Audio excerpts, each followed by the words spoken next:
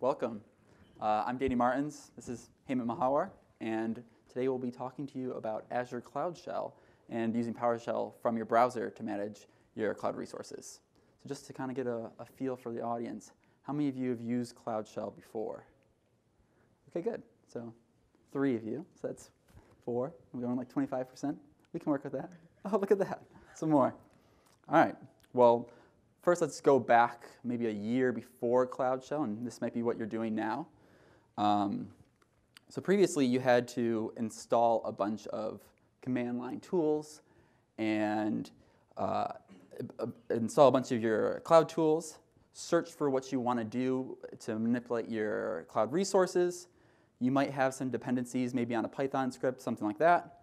These, it might not be very efficient, and then you'd have to download these and then try to run them.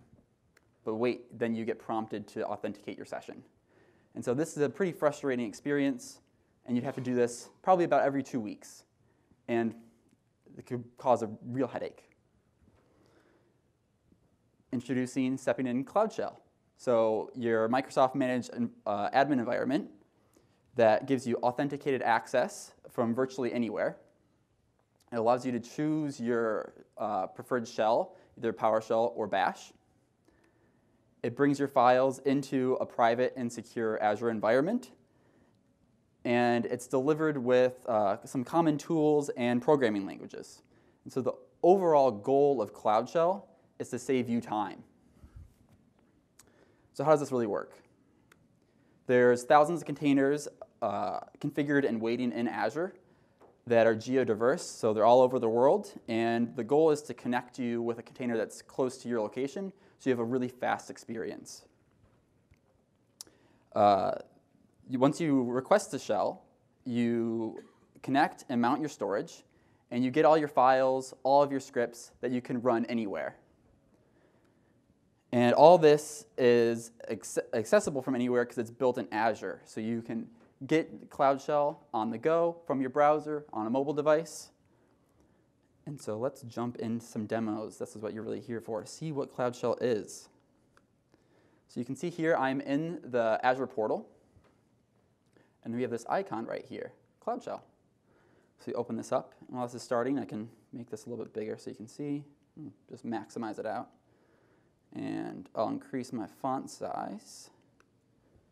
Can you read that in the back? Cool. All right, so what you can see right away is that our prompt is Azure. So what we've done is we've taken all your Azure resources and mounted them, mounted them as a file system.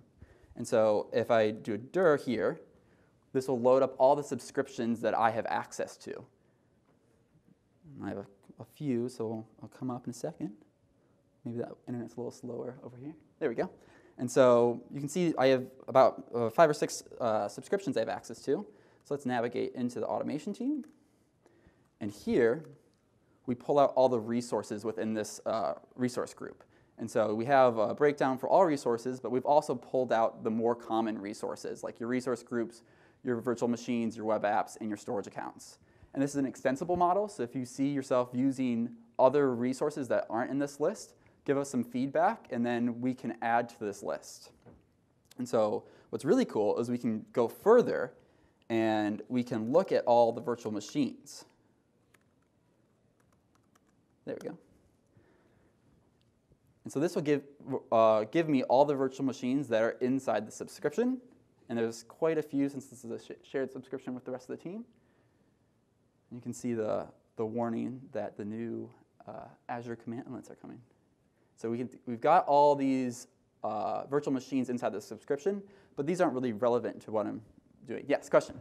Yeah, so your definition of subscription is my company's subscription. Uh, yes, it would be you have you have your subscription, and then so for the automation team subscription, that's the overall team subscription, and then we build out our own resource groups. I think Hemant might have something to add. Yeah. Great. Do you have anything to add? Okay, we'll keep going. All right, so these, are, are you, answer question? Cool. So this, these virtual machines might not necessarily be uh, scoped to me or really be relevant. And so I can navigate into the different resource groups, and we'll go into my specific resource group. Should have done the TE. There we go. And so what we do now is we scope all your commands to this resource group. And so if I do uh, get Azure RMVM, this is going to be automatically scoped to the resource group that I'm located in. And this applies to both uh, your virtual machines, your web apps, your storage accounts. And speaking of storage accounts, you, as you just mentioned, you're mounting your storage account. The reason we do that is because we have a cloud drive, and that's storage that's persisted across sessions. And so I can navigate over to my cloud drive, and you can see here that I have some docs folder and my profile. And th this storage inside the cloud drive is persistent between each container. So if I log out and log back in, these files are still there. So this is where you want to store your files, all your scripts, things like that. So just to demo this, I can, uh, we'll just do demo.txt. And you say, hello world. And so, so you know I'm not faking it, we can put the time in there. Help if I did it correctly. And so and we have Nano, we have Vim, we have multiple different editor experiences within Cloud Shell. I personally prefer Nano. And so we can do that here, and we can see demo.txt is here. And we can cat demo, see it's there. Perfect. And so if I exit out of the, uh, the session and I go to a different, uh, a different session, if I switch over to a bash container, and while, we're, while this is loading, I'll show you some other cool features that we got. We have uh, a pop-out. So if I click on this, this will launch me into a full shell view within the window. And so now I don't have the portal in the background. We also have uh, a restart the shell or restart your cloud shell. And so this different the the differentiator between oh I forgot to push my button. So forgive me. We'll go a little bit longer. Uh, the differentiator between the, the the restart is this disconnects your container and gives you a fresh experience. So this will do a full startup opposed to just closing this or reopening your browser or your shell. That would just reconnect you to the existing container that you've already connected to.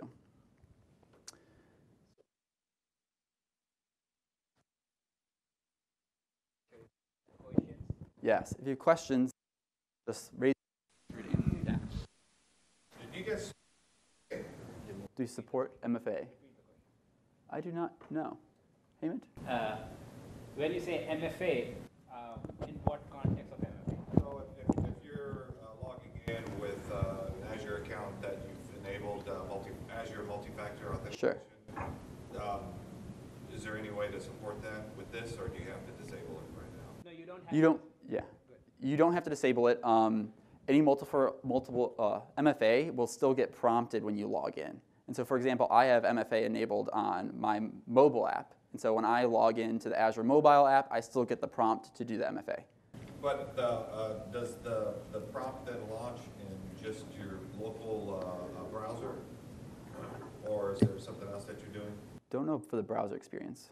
Because So- when, when you do it through regular PowerShell, you know, it'll, it'll use whatever your default browser is in the, in the frame window, that Right. authentication prompt. So in, in this case, once you go to portal.microsoft, uh, portal.azure.com, the MFA is handled by the portal itself. Yeah. It does it at that level? Yes, once you have. Yeah, you you're- go to the portal, then your context just carries over. Yes, you, you you carry your auth, and so when you, we say you have a already authenticated shell, you're already, you, Azure's already done that authentication.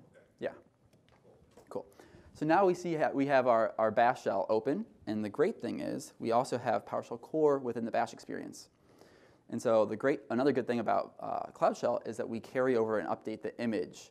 And so you can, you're guaranteed that you'll always have the latest and greatest. So here you can see that we have uh, PowerShell 6.1's preview, and even though this is only released. So we update the image uh, on a biweekly, weekly basis. And so you can see again that we've mounted the Azure Drive. So this is an experience that you get in just uh, your bash experience. You have to be running PowerShell so you get chips and you can build that Azure Drive on top of that. And so we can navigate back to our home directory and a cloud drive, and we can see oops, that we, again, have demo.txt,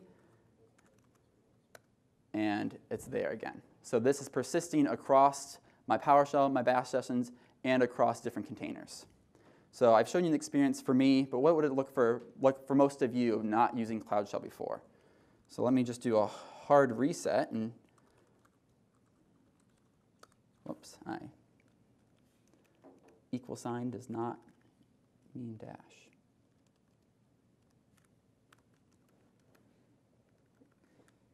Wow. Yeah, it's going slow.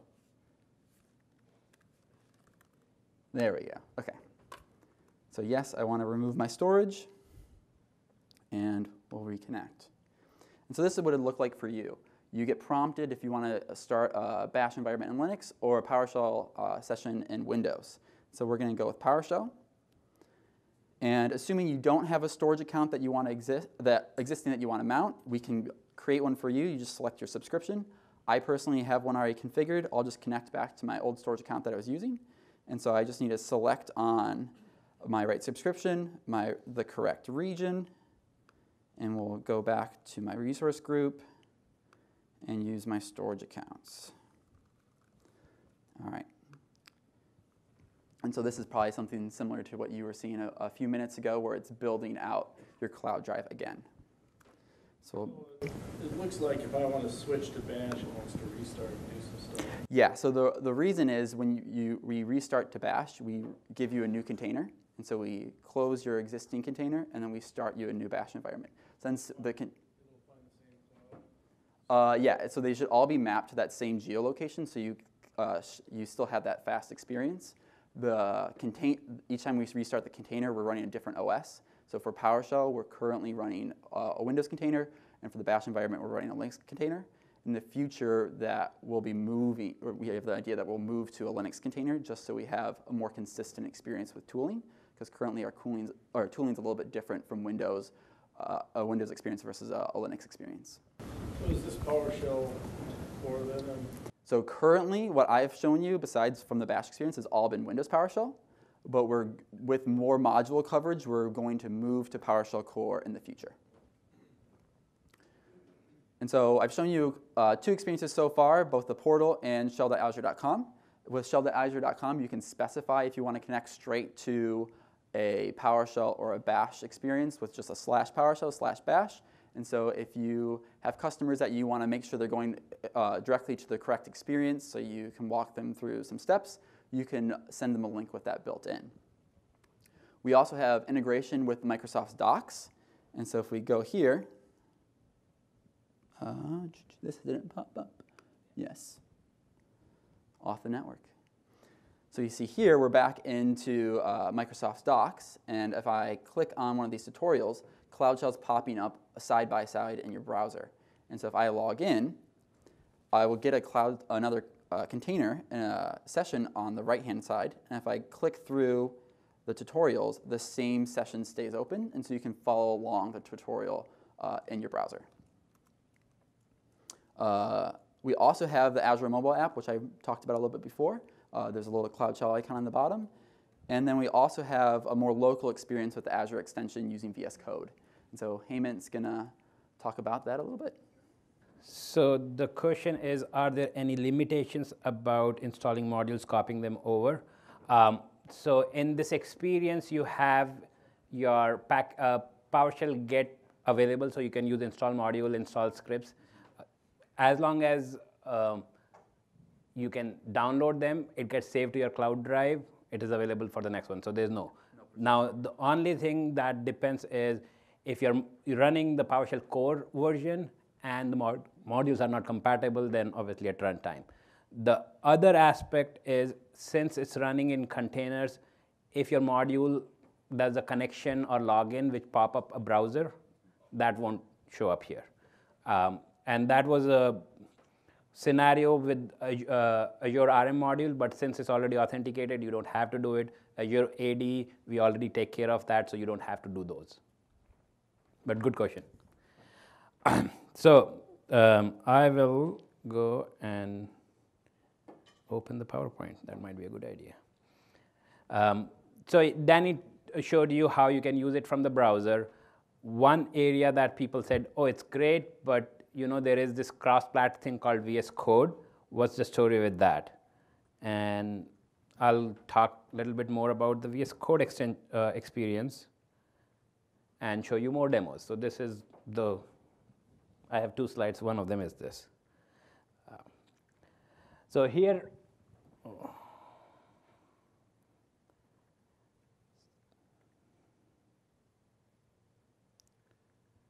So here is the VS Code. How many you guys have tried using PowerShell from VS Code? How many of you still hate it and loves ISE more than that? Okay. So there are some people like yeah, some things are good in ISE, something in good in VS Code. I was on the same uh, lines that oh, VS Code is new shiny thing. I don't know, uh, and it took me about uh, six months ago. I switched over, and slowly, slowly, I'm like oh, there's no reason for me to run ISE. But one thing people say a lot is hey, if I open a file, let's see.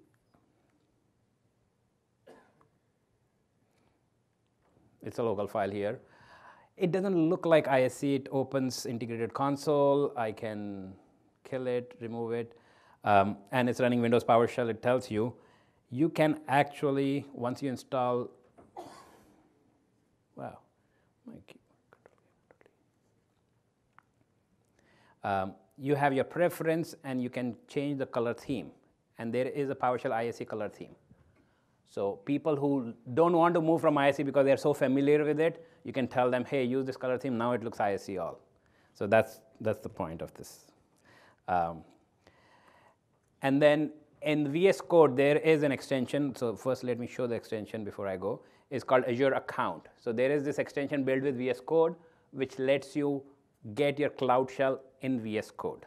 And then there's another one called Azure Storage, which I'll talk about a little bit more. So those are the two ones. So you can say Control Shift P, type in Azure colon open.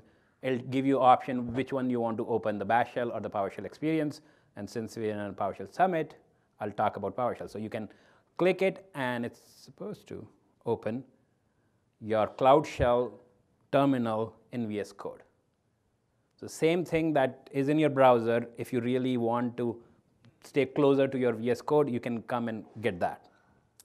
Um, and as one thing that Danny pointed out, if you have a session running, you disconnect from it and come back within a certain time period, uh, you get a faster connection because your containers is still there.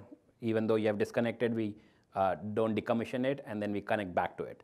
But if that time uh, limit exceeds, then that container is taken away. And when you connect, so sometimes you will see, oh, the connection is fast, sometimes it's slow. Yeah, there's some network piece of it, but most of them is if you're connecting to a new container versus an existing container. So here you have the same experience. You can do dir. Again, it's connecting to Azure Service the first time, finding all my subscription. Next time I do it, it's fast. Like it's really fast. It did it. Uh, because we cache. So we go to the service once, get the information, build the navigation and uh, thing here. And if you really want to say, hey, I created new resources, they are not showing up because it's a cache, you have an option of saying dash, dir dash force, and it'll go and rebuild the entire cache. It'll go and check, hey, if there's thing any new, and so on. So it's the same um, thing.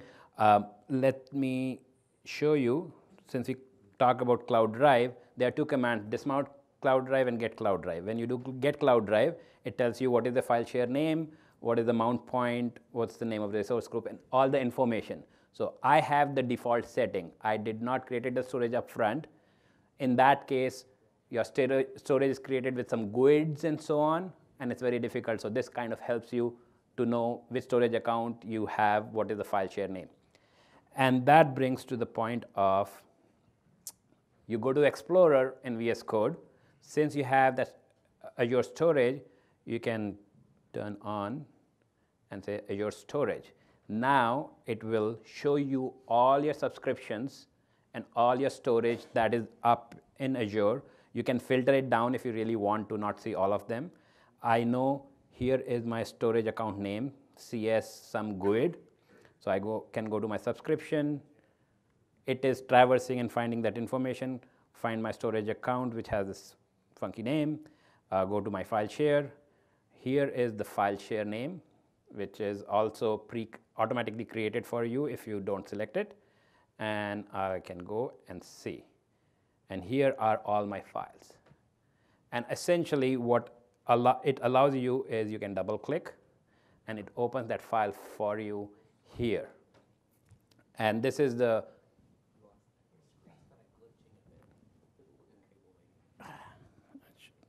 Okay, hopefully this time it will be better. Um, and this is what uh, Azure Storage extension tells you. It's opening the file. You can go back to the terminal. Uh, it says, let's make a change. You can make a change to it, say control save. It'll take that change, which is available locally, and upload it back to you. And in the same session, you can go to your home cloud drive and run cloudshell.ps1 and it, it writes. Future looking, we can do time travel 2019. Um, another thing that you can use with those two extension is this is a local file. So let me just show you the files I have here. There's some five or six files. There's no file called localfile.ps1. You can right click and you can say upload. And it'll upload that file for you automatically to your cloud drive.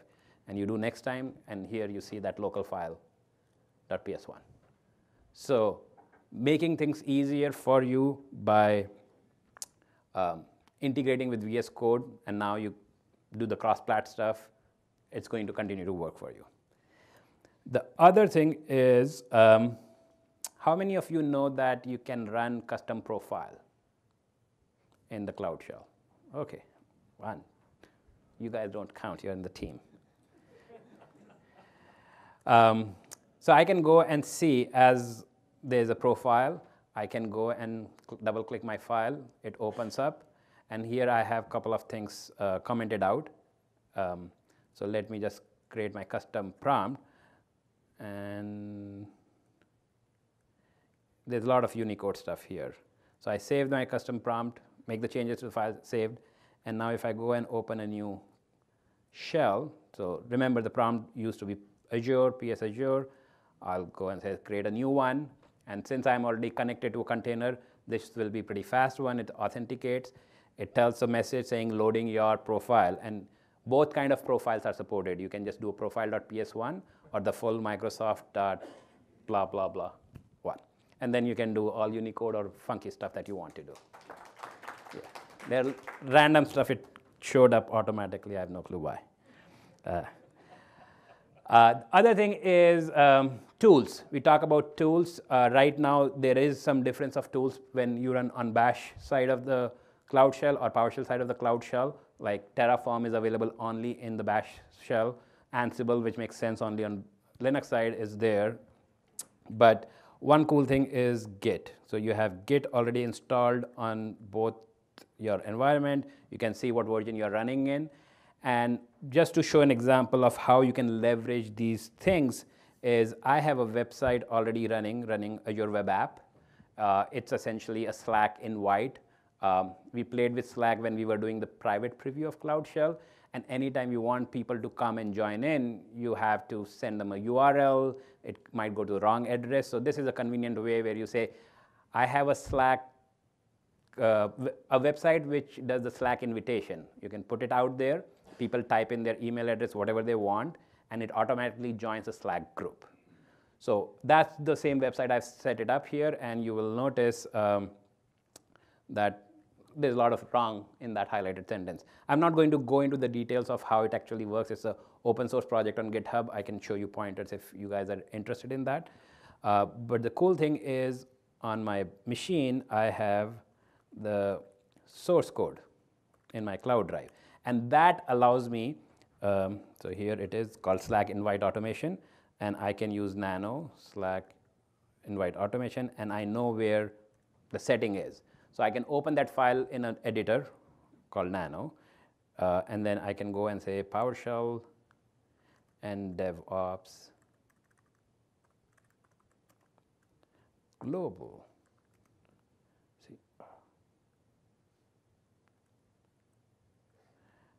And I am literally a bit challenged with VI, but I know enough to get by. Uh,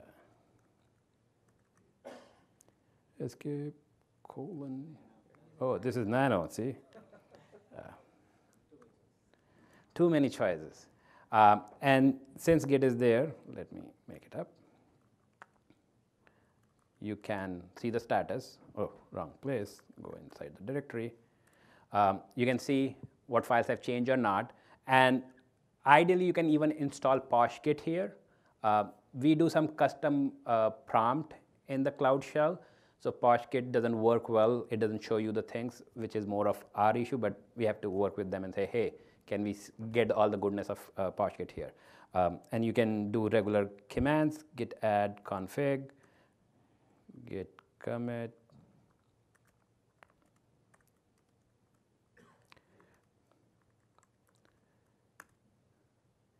And the idea is once you make the change here, since your Azure web app is integrated with your local Git, which is saved in your cloud drive, you can do git push Azure master.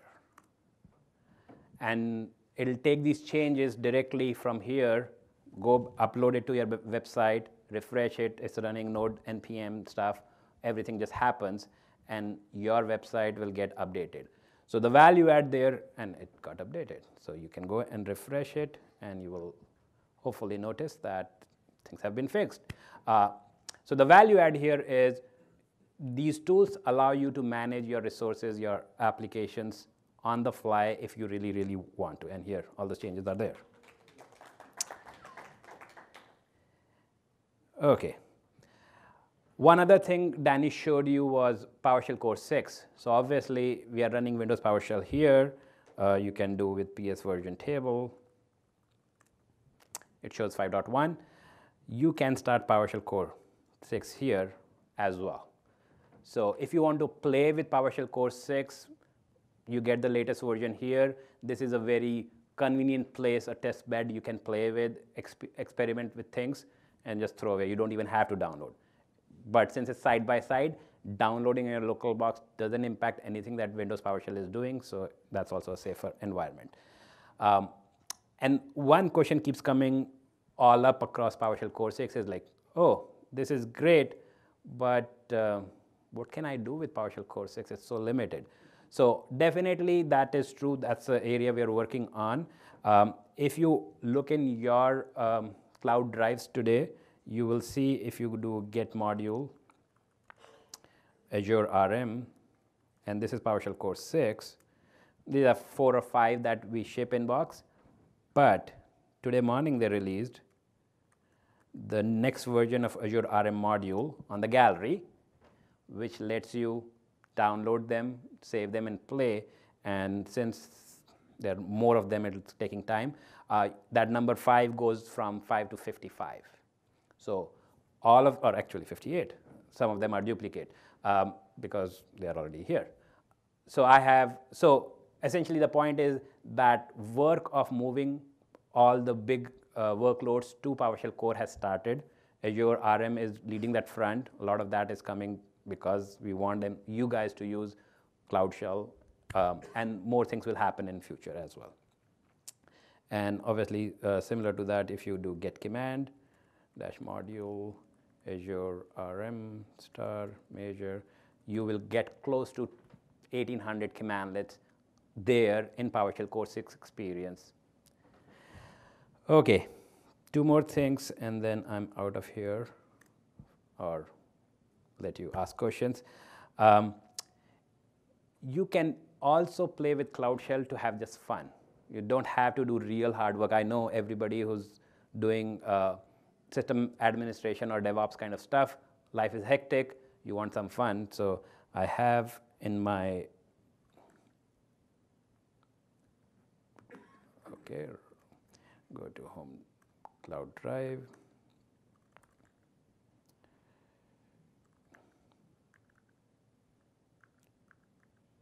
So there's a demo that was written for Windows PowerShell, and I was trying to see how much of that can work here. So let's see. And you have Zen and Peace already for you here. You can do tab and it changes stuff. So it's fun stuff, nothing fancy, but you can still do that if nothing else. Okay. So those were the things we had in the demo side of things. Any questions before we move on or talk about what's next? Okay. Very engaging audience. No, fine. Okay, so the demo part is done. Um, And here is a link, which I didn't get a chance to make it work and show you guys, is mounting that your uh, Azure storage file. You can mount it locally on Windows as, an, as a drive. And you can use dash persist and save your credential. It will be there after reboot. So you can say, oh, my Z drive is always my Cloud Shell. So you can then use those files locally, make them changes, use any editor that you want, but still be attached to. And this is already documented. Uh, the biggest thing that I ran into, uh, which I haven't solved yet, is opening the port 445 for outbound connection, which is the only thing that stopped me from getting it done in time. So just be aware of that, it's, it's there. Now the thing is future. So what is the future? Um, we know, and that is why there's first line which says PowerShell startup can take up to a minute, that our startup is very slow. Um, it's not where we want it to be, but that's where we are at this point. So we are working there to make the startup faster. And it's not just faster, it's like somebody in my team says, you blink, blink, blink, it's there. So it's that it's going to be that fast. I was we were almost close to get a video of that to show you today, but we didn't reach there. It's, it's not available for everybody. Even people in the team are waiting for it to be deployed and play with it. Um, we are moving, planning to move from Windows PowerShell to PowerShell Core 6 as the default experience here. That's the place all the investments are happening. We want more and more team to Core 6. Oh, I want Cloud Shell. Oh, it is PowerShell Core 6. So I should do PowerShell Core 6, as well as people to use it and tell us. Um, and the other piece that Danny already talked is today the Cloud Shell experience is running on Windows Container. Uh, the idea of Cloud Shell is to manage Azure things or to go out of that container environment and manage something outside. A lot of people are trying to do and manage MSO Online, Office 365 accounts, but every time you're going out of that environment to somewhere else, to a service or to an, another endpoint.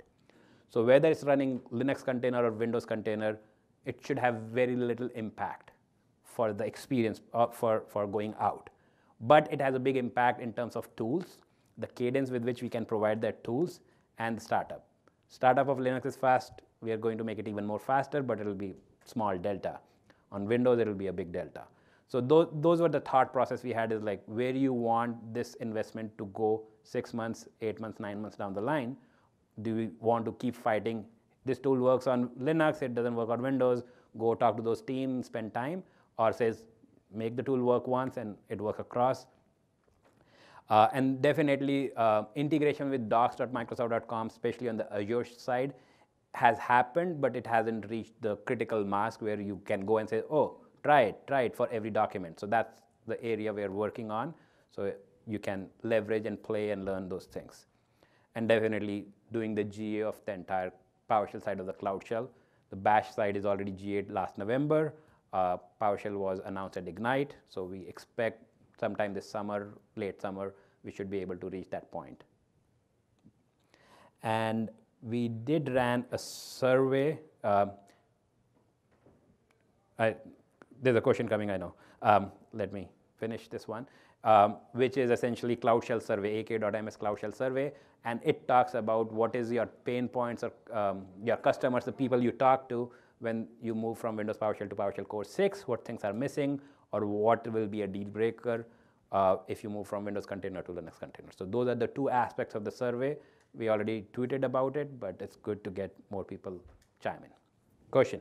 Um, yeah, um, going back uh, when you were talking about like the, the modules and, and that, that pop-up, um, that might be what I was thinking of. Because um, I thought I tried the Cloud Shell and tried to do a connection to uh, Exchange Online. Okay. And with multi-factor enabled, you normally get the pop-up in your regular PowerShell. right. There are plans for like some of those groups uh, that, that haven't really have a nice MFA integration. Right. So uh, the question is, uh, if you try to connect to uh, micro, uh, Exchange Online or Office 365 Online, the, in the regular Windows PowerShell console, the multi-factor authenticate pops up, you can type things, what's the plan there? So um, that's something we are working in. Uh, essentially, yesterday only we had a meeting with them, uh, a small meeting, and they're like, oh, we don't know whether MFA works. I'm like, no, it works. And actually, we were able to show that it's taken by Azure AD. So if you look at Azure AD when it moves to .NET Core, they will not have that pop up as easily. So we go, you can go to the device login approach, uh, which will work. So it was, oh, is that simple? I'm like, yeah, there's some work, but yeah, it's that simple. So that work is happening. The uh, Office 365 was very interested in like, oh, all this PowerShell core stuff is good. What is this Cloud Shell thing? Can I use it in my admin center kind of experience? That's the other thing I was gonna bring up, is it's exposed now in Azure AD portal, but, you know, if you're doing a lot of Office three sixty-five admin stuff, you usually that portal, Exactly. to have an integration there. Yes. Um, so one thing I think Jeffrey has talked about in his session as well is we reaching out to office people say, hey, do this. Like, oh, you are the PowerShell team, you are the Cloud Shell team. Obviously, you want everybody to use the technology. But if you go and say, hey, I've used it, I want this to happen, it carries one and a half to two times more weightage than us reaching out. So we are already working with them, but just hit the teams, whatever that team is, whether it's for Office, whether SharePoint or FooBar, if you want something, not necessarily PowerShell, even if outside of PowerShell something else, you reaching out, beating them up makes more impact than we reaching out and asking them to work with us. So please continue doing that. Yes. What is the connectivity like from Cloud Shell to Azure resources? For instance, I- know I'm authenticated to my Azure subscription. If I have a virtual machine in my Azure subscription that's not internet accessible, or if I have ExpressRoute configured from Azure to my on-prem infrastructure, is there any connectivity possible or any plans? Yes. So the question is, what is the connectivity from the Cloud Shell to Azure resources, for example, a VM, if it's not publicly accessible? So right now we have one experience which primarily relies on PowerShell remoting. There's a commandlet uh, in Cloud Shell. We don't talk about it uh, much because there are some, it's not as smooth as it should be, uh, which essentially uses PowerShell remoting, and you have commands like uh, invoke Azure RM VM command and enter Azure RM. Those use primarily PowerShell remoting, so the machine has to be uh, exposed to the internet. It should have a public IP address. Uh, that's an area we are looking at with the serial console work and run command that they have done. Uh, we are looking, we are planning to look into those and say how can we provide the same kind of experience like you get in Hyper-V through um, VM bus connection. Can we do that for Azure VMs from the Cloud Shell?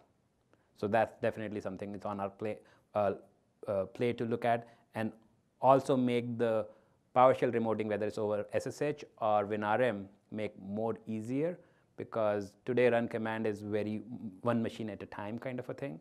With PowerShell remoting, you can reach out to n machines, figure it out, and then do a specific SSH-based session. So definitely that's something we're looking. at. Yes. Is this all still happening over four forty-three? You don't have some weird port that's gotta be open to make this work? When you say this, so question is, Oh, I can get to Azure, yeah, and from like work, I can get to Azure, but then I gotta go, cause I go to my MSDN subscription, then I gotta go to the network guys and go, can you please open RDP to this? But you know, I know four forty-three is always open, so, okay, where it'd be nice if, So um, the question is, is it all, when, that's where I was uh, kind of asking. When you say, is it all going to 443, are you talking about PowerShell remoting? Or the connection to the portal? the, the PS shell Right. web browser. Yes, it's, it's going over the standard net HTTP protocol, so HTTP, HTTPS 80 and 443, yes. Uh, there are some issues with Firefox, I believe. So if you're behind a, like a load balancer or if you're behind a proxy. proxy, yeah, uh, the WebSockets may not work. right? Right. So um, if you're behind a proxy or load balancer, the WebSocket, so the connection happens uh, through WebSocket between the actual container and the browser. So if you're behind those, then there are certain things you have to open up. I, I believe it's already documented in our docs because a lot of people ran into that. And especially if you're using Firefox, it shows up more often than if you're using Chrome or Edge. So that's documented, but if not, we, we can look at. But yes, there is that piece of proxies in firewall. Any more questions? I don't think we have anything else on the slide. On, uh, I think maybe somebody mentioned this, but, um, eh, do you have any plans for like hybrid environments where you would you make it easier or, or use some type of proxy or like a hybrid runbook worker um, to, to be able to manage on-prem environments via Cloud Shell easier without having to open up a bunch of ports for all the servers? So the question is, are there any plans to manage hybrid environment with Cloud Shell without opening too much ports and stuff? Um, we have not looked into that in detail, but we have talked with uh, Project Honolulu folks, where uh, the discussion was how can I get the PowerShell in that browser, uh, and we talked about why if you're trying, they were at that time looking only in a local scenario, so running a container connecting didn't make sense. And what they actually needed was a front end like we are doing and the back end connection uh, technology, and they were able to achieve. As Honolulu moves more towards managing hybrid, we will definitely plug in into that scenario and make it happen. I don't have a specific timeline, but something has just started. That discussion just started around it. Using VS Code, uh, there was that, there's a drop down, I'm not sure we explicitly called it out, but you can switch back and forth. And so if you're using Oh. VS Code, you can switch Uh-huh. back and forth from your Cloud Shell terminal and then switch to a local one as well. And Oh, that- okay. That's just built in, sure. Yeah, I, I, I was taking the question more as can I use cloud? But I think as a, as a, you can keep, stay in the same experience and just change on a drop. Right. Switch back and forth. And that's something that Oh yeah, yes. now until we have So the, the, the comment Dan is saying is in VS Code, you have those terminals which can let you run Windows PowerShell, which is local, and the Cloud Shell. So you can use that for a kind of a workaround for the hybrid. Okay, last slide I believe is this, which is use it, tell people more about it, and let us know what kind of things that you find difficult to use. There is uh, user voice around Cloud Shell, which is all up Cloud Shell. When you submit an issue, you, it, you, you pick whether it's a general issue or it's a Bash specific or PowerShell specific. And then there's documentation around how do we how do you learn more about it? We know there's room for improvement on the docs. So if you find open issue, if you can contribute, that's even better. But telling us what's busted or oh I read this document, it doesn't make sense or it's too difficult, that's also a good idea for us to know. So those are the things and thank you for your time. Any more questions, I can take it.